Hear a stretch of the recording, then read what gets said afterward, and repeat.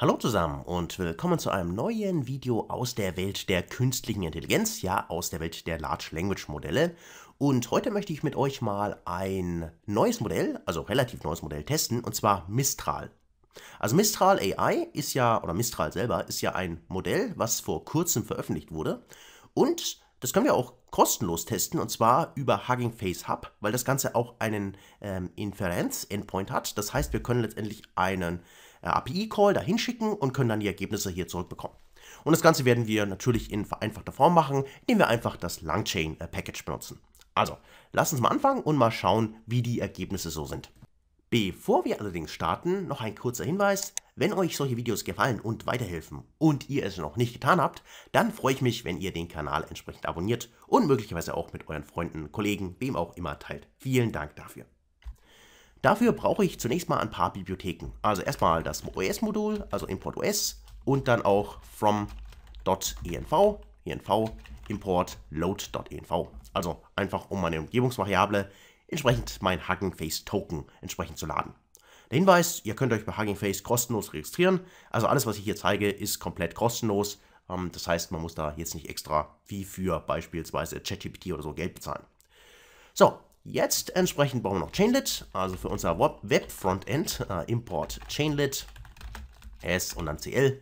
Einfach um das Ganze mal ein bisschen schöner darzustellen. Ja, weil das Ergebnis sonst hätten wir halt hier in der Kommandozeile. Natürlich kann man es da auch darstellen, aber ich hätte es ganz gerne irgendwie im Browser, dass das noch entsprechend schön eben dargestellt wird. So, dafür verwende ich Chainlit und dann entsprechend können wir jetzt eben noch, können direkt eigentlich load.dnv hier schon laden, wobei wir vielleicht einfach noch davor unsere anderen Bibliotheken importieren. Also haben wir einfach eben from, in dem Fall langchain, langchain.llms import und jetzt eben das Hugging äh, Face Hub. Ja, so, das ist das. So, das hier brauchen wir. Und dann brauchen wir noch eine Chain, also from, from langchain, uh, langchain, chain, so, dort chains, import, uh, chains, uh, import. Wir werden die einfachste Chain verwenden, das ist eben die LLM-Chain. Ja, also das ist die einfachste Chain. Und alles, was die Chain braucht an sich, ist einfach nur im Wesentlichen das LLM und dann halt ein Prompt, den man mitgeben kann. Und Sprich, ja, der Prompt, also from langchain, langchain, chain.prompts, äh, werden wir das Prompt-Template importieren. Das hier. So, jetzt laden wir unsere Umgebungsvariable mit load.env. Und jetzt können wir das Ganze auch speichern, zum Beispiel mein HFT, also mein Hugging Face Token, gleich os.getEnv, also getEnv, Umgebungsvariable. Und die heißt halt bei mir Hugging Face Token. Also wenn ihr die anders definiert, müsst ihr natürlich auch in einem anderen Namen das Ganze laden. So, Jetzt habe ich halt mein Token definiert und jetzt brauche ich halt noch eine Repo-ID, also die Repository-ID von Hugging Face. Und die ist jetzt bei mir entsprechend äh, Mistral. Ich habe schon nachgeschaut, deswegen kann ich mir direkt verwenden. Und zwar, ich nehme das einfach das Instruct-Modell. So, das ist eben nochmal speziell instruiert. Und das sollte eventuell auch noch ein paar bessere Ergebnisse liefern. Also, das ist es entsprechend hier, diese Repo. Und jetzt quasi können wir uns das Ganze eben laden. Nennen wir es einfach Mistral, ist gleich also ist gleich und jetzt eben Hugging Face Hub. So, und jetzt brauchen wir ein paar Sachen. Zum einen unsere Repro-ID, die entsprechend gleich der Repro-ID ist. Das ist soweit richtig.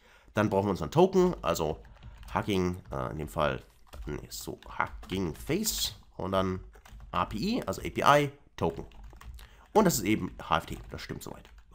Und zum Schluss können wir noch unsere Keyword-Argumente mitgeben, also in dem Fall Model Quarks gibt es da. Und das ist einfach nur eine, in dem Fall Temperatur und eben die Anzahl der Token, die wir generieren wollen. Also Temperatur äh, ist nur ein Parameter, den wir ähm, entsprechend verändern können. Der ist eigentlich schon so hoch, ich nehme mal eher etwas von 0.1 oder sowas. Ähm, der eben dafür, äh, der letztendlich aussagt, wie, ähm, ja, wie, welch, welche Antworten würden wir erwarten. Also, das, wenn wir den Wert sehr niedrig setzen, also irgendwas zwischen 0 und 0,1, so etwas, dann bekommen wir ähm, relativ ja, Standardantworten, also Antworten, die wir auch erwarten würden. Ja, wenn wir den Wert sehr hoch setzen, also nahezu 1 beispielsweise, dann wäre das Modell auch ein bisschen äh, dazu geneigt, einfach ein bisschen kuriosere Antworten zu liefern, sagen wir es mal so. Ja? Etwas vielleicht eher Unerwartetes. Da kann man ein bisschen mit der Temperatur rumspielen und eben ausprobieren, was für einen funktioniert. Und dann eben die Anzahl der Tokens, das ist eben wie viele ja, ich will nicht sagen Wörter, weil das stimmt nicht ganz. Also ein Token ist nicht genau ein Wort, aber halt, das ist letztendlich die Länge die wir maximal zurückbekommen wollen an Zeichen. Ja? Also ein Token, man kann über überschlagen, dass das ein Wort ist, aber es ist eigentlich nicht genau ein Wort. Ne? Das nur als Hinweis. Wenn ihr entsprechend also längere Antwort haben wollt, müsst ihr halt den Wert hier höher setzen, wo man dann aufpassen muss, ne? weil wir verwenden hier gerade diese kostenlose API, also in Hugging Face Hub. Und da ist halt auch immer so, ähm, je nachdem, wie viel Traffic da gerade drauf ist, natürlich, dass entsprechend dann das auch mal vielleicht etwas länger braucht oder auch mal abstürzen kann. Ja, einfach weil eben nicht genug äh, Ressourcen zur Verfügung stehen. So, Jetzt haben wir das, also definiert. Und jetzt noch die Klammer schließen. Die fehlt hier gerade noch, würde ich sagen. So, und das sollte passen. Okay. Sparen wir ab. So haben wir das. Und jetzt eben noch unser Prompt. Also Prompt. Und Prompt ist einfach nur jetzt unser Prompt-Template. Das haben wir schon vorgeschlagen hier. Und das ist jetzt halt das Template mit einer Question, also mit einer Frage. Können auch hier Frage anschreiben, ehrlich gesagt. Und die Input-Variablen hier sind eben auch die Frage. Also Frage. Fragte. Nein, die Frage. So. Jetzt haben wir das und haben unser Prompt definiert. Wir haben unser Modell definiert hier und jetzt brauchen wir halt noch entsprechend unsere Langchain, also unser Web-Frontend. Und das können wir hier wirklich, das ist echt super gelöst, in Langchain. Wir können einfach mit einem Decorator in Python, also über cl.langchainFactory, also asynchron ist false, also vom Call her, es ist nämlich nicht asynchron, es ist ein Standard-Call. Und dann können wir einfach unsere Funktion schreiben, also def entsprechend hier Factory, Factory und jetzt haben wir hier einfach unsere Mistral, Mistral Chain. Also hier ist unsere LLM Chain, also mit dem Prompt entsprechend, mit dem LLM und verbose gleich true. Das bedeutet einfach nur, dass wir in der Kommandozeile würden wir noch zusätzlich das Ganze ein bisschen äh, besser loggen können, weil wir halt mehr Informationen zurückbekommen. Ne? Und dann äh, geben wir einfach das Ergebnis zurück. Und durch diesen Decorator hier bekommen wir jetzt das Ganze in einem schönen Web-Frontend zurückgegeben. Das heißt, wir können das in unserem Browser entsprechend auch aufrufen und eben dann unsere Frage stellen. So, das heißt, ich speichere das jetzt mal ab. So, und damit sind wir eigentlich auch schon fertig. Also wir haben die Bibliotheken importiert, die wir brauchen. Wir haben unseren Token hier geladen. Wir haben dann unser Modell hier entsprechend definiert. Wir haben unseren Prompt definiert. Und dann eben noch ein schönes Web-Frontend, wo wir in der Chain unseren Prompt und unser Modell zusammenbringen und einfach das Ergebnis dann äh, zurückgeben. Das ist auch schon. Und jetzt führen wir das mal aus. Also indem ich einfach jetzt sage, in dem Fall Chainlit, also aufpassen, jetzt nicht Python, sondern in dem Fall Chainlit und dann Run. So ähnlich wie Streamlit ist das eigentlich. Und dann einfach hier unser Name, der bei mir halt jetzt hub.py heißt. So, dann führe ich das aus und jetzt warten wir kurz, bekomme ich hier ein paar äh, Hinweise, also in dem Fall Warnungen, dass irgendwas bald nicht mehr funktionieren würde. Und jetzt sehe ich hier mal ganz kurz, ich habe ein extra Feld, Hugging Face, ich habe irgendwas falsch geschrieben, aber wahrscheinlich Hugging Face API Token. Hugging Face Hub muss das natürlich heißen, also muss man kurz hier reingehen und hier ein Hub reinschreiben, also Hub so, okay. Nein. So, Hugging, Fa Hugging Face. Hugging Face Hub API Token. So, das. Also das hier raus. So. Und hier muss rein. Also Hub. Hugging Face Hub API Token. Jetzt soll es passen. Probieren wir es nochmal. Also gehen wir hier hin. So. Und schauen wir nochmal nach. Also, jetzt nochmal laufen lassen, das Ganze. Und dann warten wir kurz, bekommen hier wieder ein paar User Warnings, aber das ist soweit okay. Und jetzt unser Localhost. Also, da ist es auch schon. Und so sieht das Ganze jetzt aus. Also das ist unser Web-Frontend, einfach eine Seite, wo wir entsprechend hier unseren Prompt eingeben können oder auch einen neuen, einen neuen Chat hier starten können. Und das hier ist nur so ein Boilerplate-Text, den kann man auch rausnehmen. Ja, den kann man, der ist in einem extra äh, Dokument, was erzeugt wird von Langchain, äh, ähm, von Chainlit, Entschuldigung, definiert und ihr könnt ihr entsprechend ändern. Ja, da kann man irgendwas hinschreiben. Ähm, hier das Modell heißt so und so. Es beantwortet eure Frage, einfach ohne den Text eingeben oder sowas. Und jetzt einfach mal das Ganze ausprobieren. Also zunächst mal auf Englisch, äh, um mal zu schauen, ob das auf Englisch geht und dann auf Deutsch natürlich auch. Also erstmal auf Englisch. Ich persönlich bin ja ein großer Anime-Fan, also frage ich einfach mal in dem Fall List 3 Great Animes. So, und dann sehen wir auch schon, jetzt haben wir hier ein Ergebnis bekommen hier that you've watched, da führt er eigentlich noch den, nur den Satz aus, ähm, also zu Ende. Und dann gibt er uns eben hier Dragon Ball Z, Naruto und One Piece. Ja, problematisch, das habt ihr alle schon gesehen, aber ihr seht auf jeden Fall, das funktioniert hier soweit so gut. Und jetzt probiere ich das Ganze mal auf Deutsch aus, also nee, einfach nenne mir drei tolle Animes, ja, Animes, sowas zum Beispiel. Ich führe es mal aus und jetzt warten wir mal kurz.